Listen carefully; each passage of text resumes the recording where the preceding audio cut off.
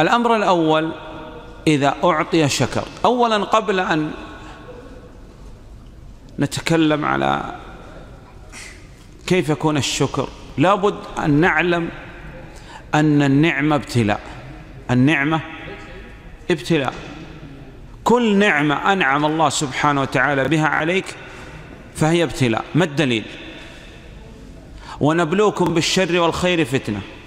فلما رآه مستقرا عنده قال هذا من فضل ربي ليبلوني أأشكر أم أكفر؟ فأما الإنسان إذا ما ابتلاه ربه. إن ثلاثة من بني إسرائيل فأراد الله أن يبتليهم. إذا كل ما بك من نعمة فهي ابتلاء من الله. كيف تخرج من هذا الابتلاء؟